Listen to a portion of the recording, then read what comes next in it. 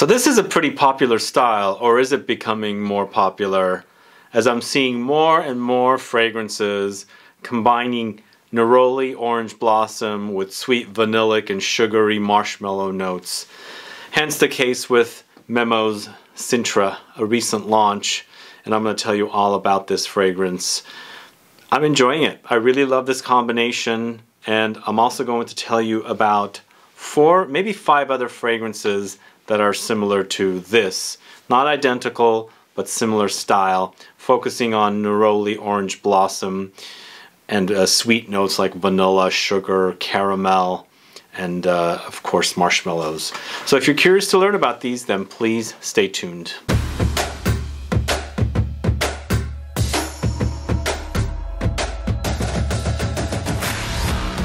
Thanks so much for tuning in. This is Sebastian with Smelling Great Fragrance Reviews. Today I'm talking about Memo Paris's Sintra. Really gorgeous bottle as you can see. I never got to go to Sintra. It's a little castle city that looks like a fairy tale city uh, outside of Lisbon in Portugal. Next time I go there I will visit. But this is a beautiful label as you can see here.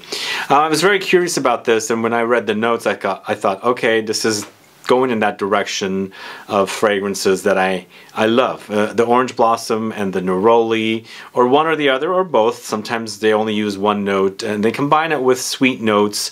Like in this case, it's marshmallow, they have vanilla, and then it turns out to be like a almost like a dessert with the citrus floral note in it, which is really heavenly. And it's something I grew up eating anyway. In the Middle East, we use orange blossom water in a lot of desserts, and it's a, great flavoring addition. It's floral, it's citrusy, and it tastes uh, fabulous. And this is almost like eating a dessert. So I'll tell you all about Memo Paris Sintra today.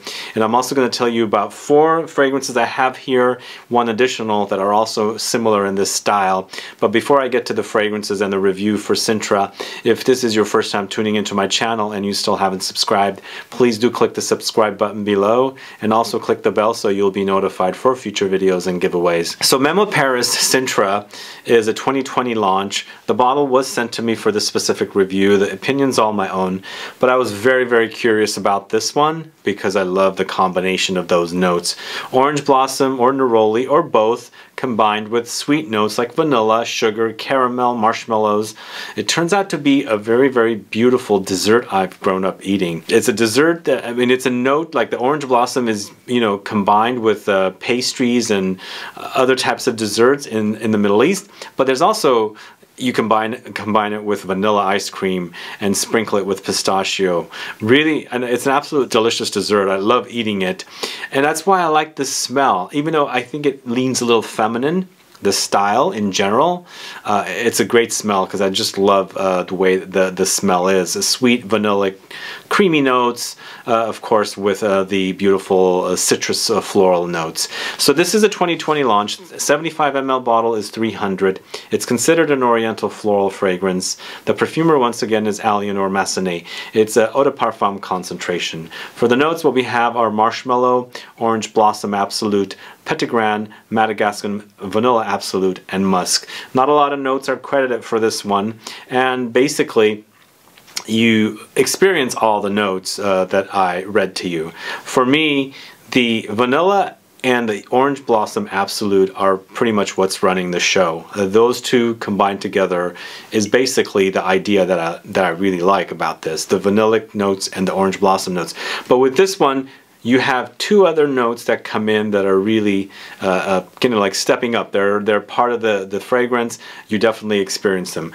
Petitgrain gives it a very green touch. It's a greenish touch uh, running throughout, and it complements Orange Blossom perfectly because, after all, Orange Blossom and Petitgrain come from the same tree. So they kind of have similar, uh, you know, smells to them, or but uh, they're in a different direction. Petitgrain for me goes bitter green woody.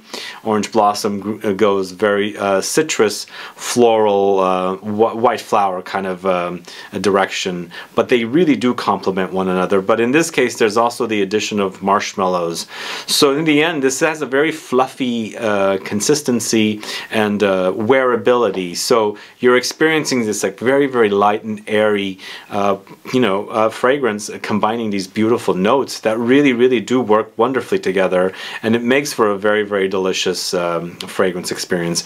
Add in the notes also uh, musk. It, it's quite musky for me. You've got one, a winner of a fragrance. Now for me, when I'm wearing this fragrance, I do experience some other notes as well. There are some caramelly touches. It does sweeten and sweeten and sweeten up, but for me, compared to the other fragrance I'm going to talk to you about, and one obvious fragrance I've spoken a lot about, this doesn't go full-on gourmand. For me, that petitgrain note, the bitterness, the greenness, the woodiness tones down the um, the uh, sweetness. Even though I get a kind of a caramelly quality in here, it, it's almost like diet. It's like sugar-free. Uh, you get the caramelly consistency. Uh, maybe it's just an accord created with the notes like the marshmallow, the vanilla absolute. But I do get it. But it's not like sickly sweet, sugary, tooth-rottingly sweet kind of a experience. Don't get me wrong though. This is a sweet fragrance, but that petitgrain note, the greenness, as I said, the bitterness, the greenness, the woodiness is toning down the sweet qualities. So in the end, for me, this one actually it's a nice balance. You have a nice balance of floral touches because when you put the flower, the flowers there, the orange blossom, those are pretty much the dominant note, almost equally balanced with vanilla absolute. So when that marshmallow comes in, you also have another balance of the petitgrain. So in the end, you're experiencing them almost equally, equal amounts of orange blossom and petitgrain, and then down from that, equal amounts of the marshmallow and the petitgrain. The combination really works great. As I said, I do get a kind of a caramelly quality with this one, slightly buttery, slightly smooth and uh, almost ambery in the end, but it's a really, really gorgeous composition. Now for guys, I think this might lean feminine. If you like fragrances like uh, by Kilian's Love, or the few other fragrances I'm going to talk to you about today, like Battito d'Ali from Profumum Roma, uh, um, there's a few others as well. If you like those, you might like this one, but again, I think a lot of these fragrances might lean feminine because that orange blossom note is really, really prominent. And it is a flower after all. It's a great flower. Uh, it's really, really stand out and smells excellent. This will make a great fragrance for fall. I think it's a great season to launch this fragrance, but I also feel like it's a great winter and uh, spring fragrance as well. Especially during the spring months is when we have the orange blossoms and the neroli blooming.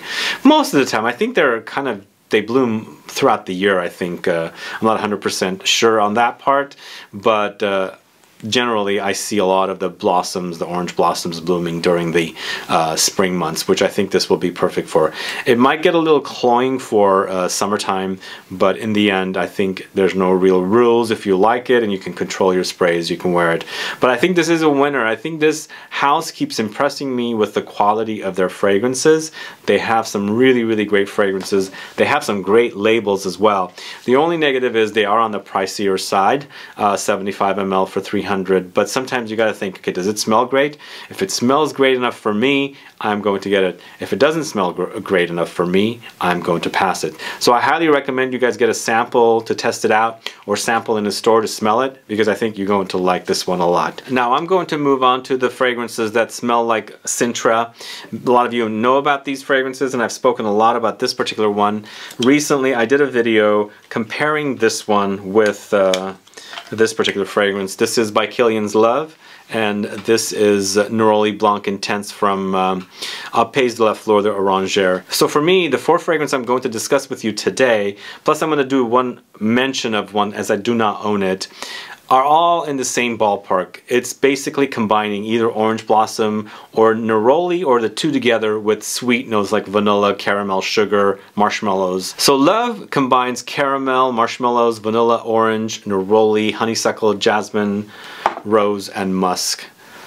So this one actually has gone through a little bit of a change for me. Um, it seems to have gotten a little lighter. Um, the juice color has gone lighter as well. But when I compare it to Sintra, they're kind of in that same ballpark as I said, but what's really running this one and the really, really standout note is that petitgrain, which is very, very green and bitter and woody, doesn't appear here. So for me, this goes more gourmand than uh, Sintra does. But again, it's that same style, same idea, marshmallows with orange blossom and things like that. In the end, both of them are delicious, but I'm really digging Sintra lately. So um, you've got to, you know, compare them side by side or um, get samples to test them all out because in the end, again, as I said, they're kind of in the same ballpark, but you'll smell one, you'll think it's too sweet, you'll smell one, you think it's perfect, another one is too light, another one is too strong, all that good stuff. So I highly recommend you test these out and sample them and then see which one works best for you. But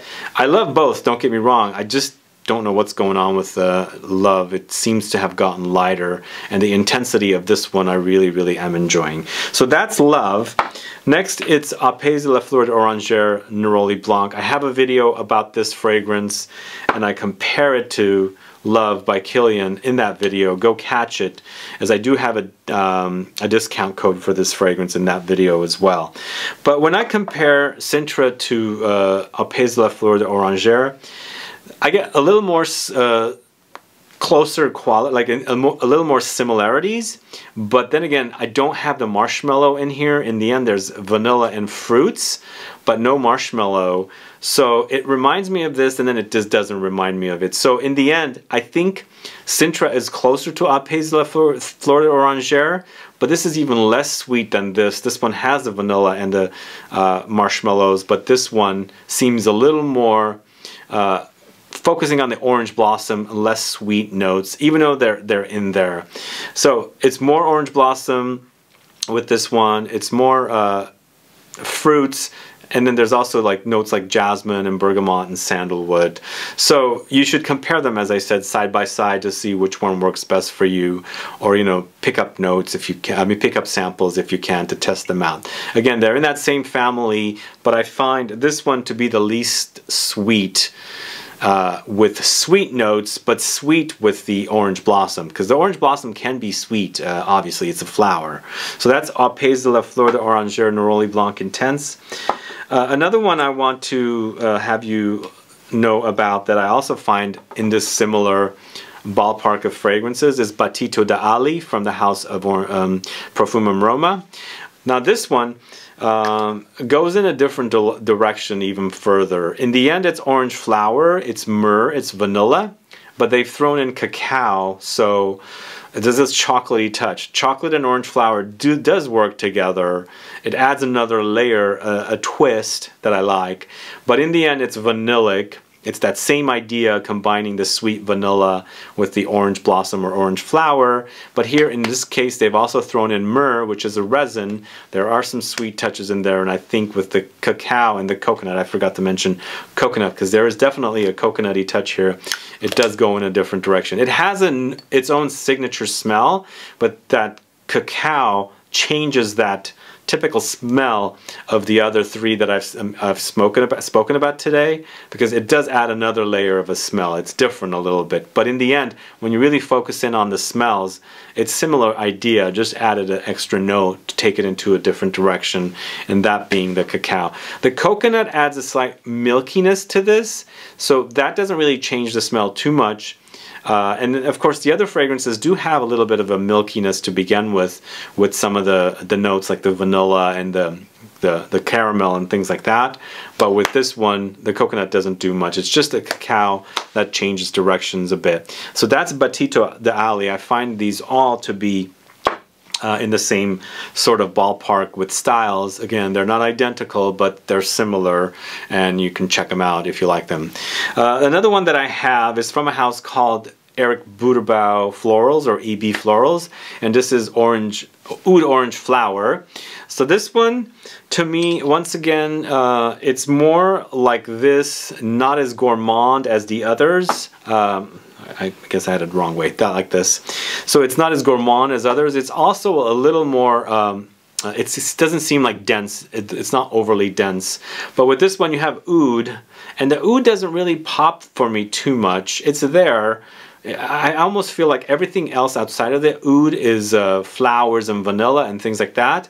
But everything, uh, you know, with the oud is so dense, uh, it all, all the other notes kind of like lift it up and lighten it up so it's easier to wear. But with this one, you have lots of oud, orange flower, vanilla, frangipani, patchouli, oak moss, champaka flower, vetiver, and bergamot. In the end, it's really, really lovely. When you first smell it out of the bottle, it doesn't really remind me of the other four fragrances I've spoken about, but then when you're wearing it, it starts developing. The vanilla pops even more, and when it combines with the orange blossom or orange flower, it really starts reminding me of the other ones. But then again, again, it's not identical, it's a little different. The oud adds a different layer. It gets a little woody, but in the end, it smells great. So that is EB Florals uh, Orange Oud Orange Flower. I don't know if you guys know this brand. Let me know.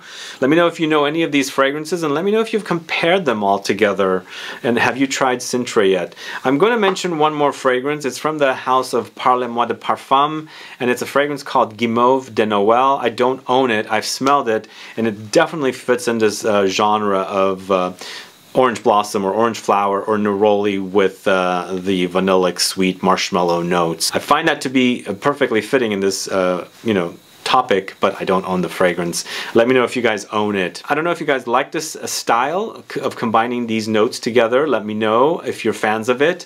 And if there are other fragrances out there, let me know so I can check them out. But out of all the fragrances I've discussed to you with you today, which is your favorite?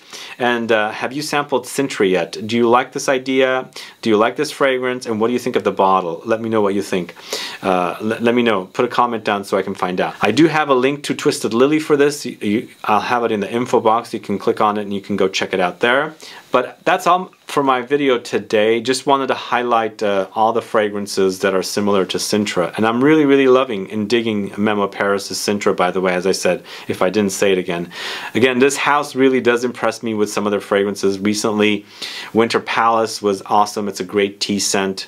Ocean Leather was also great. And I also love their Tiger's Nest. And then Sintra also doesn't disappoint. Very, very really, really good quality fragrances. Just a little overpriced I think, but in the end you're getting really great quality and great smells. Does that make sense to you guys? Anyway, those are my thoughts on Memo Paris' Sintra and also my thoughts on Kilian's Love, Au Pays de la Fleur d'Oranger's Neroli Blanc Intense, Battito d'Ali from Profumum Roma, EB Floral's Oud Orange Flower, and finally Parle Moi de Parfums Guimauve de Noël. If you have any questions or comments, please list below. Otherwise, please like this video, please share it, follow me on Facebook, Twitter, and Instagram, and I'll be back with more videos very soon. Have a good one. Goodbye.